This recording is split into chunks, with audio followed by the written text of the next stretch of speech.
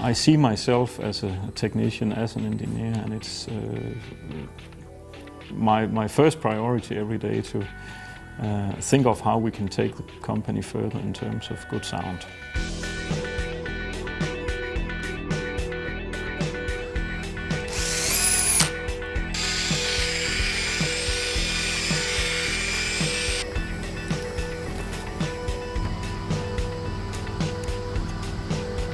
I know it sounds trivial, but I believe, uh, as others would say, it's about reproducing uh, sound as true to nature as possible.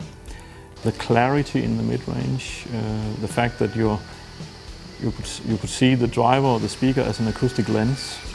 Uh, so the speaker is a lens where you have very little distortion of, of the image, but also a very clear access to the message of the motive or the recording. Um, that's what we strive for. Uh, for me, it's uh, the detailing.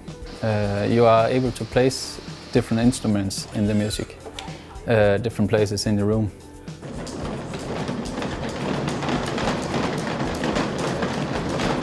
The fact that you can um, give a good experience to people, um, play some music that they never listened to before, and maybe they don't even like it on beforehand, but when you're playing the music for them, uh, they get this, uh, this amusement from, from, uh, from the music.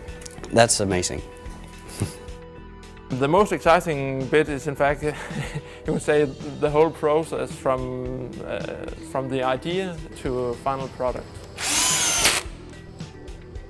If your speaker tell you stuff that is not exactly right, you're illusion of the perfect soundstage collapses and you start listening to a speaker. It's, it's actually that simple. And, and the thing is, it's hard to describe in words because once you've heard a speaker disappear, it's not a discussion whether it disappears or not. It disappears and it disappears to anyone present. Some of, some of them you really get carried away about. Uh, uh, we, we meet uh, often at, at decision points to say, okay, is this sound approved or isn't it? Or, or what are the points that we need to improve.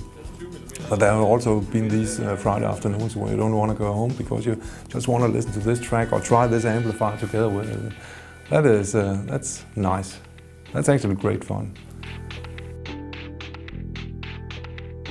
When we make a product, we, we are going for, for the best uh, test every time. Uh, that's quite important. So, so when we don't get uh, five stars in, for example, uh, what Hi-Fi or other magazines, then we are disappointed. that's uh, that's that's uh, actually how it is here. It's great actually to work with products that people appreciate. It's it's really genuinely great to meet people that are happy about our products.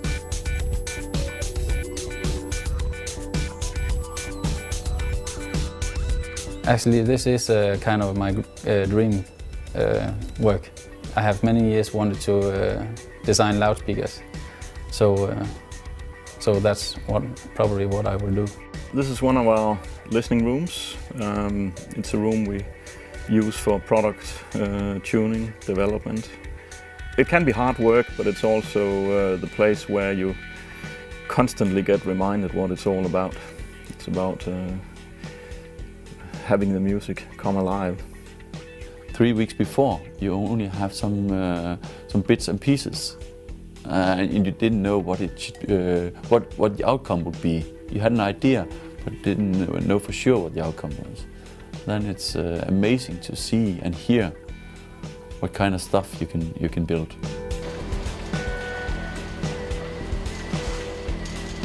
Uh, I sign my name on a little uh, label who is put on the speaker and this label tells the customer tells you that I've done this. I feel proud. It's done by me.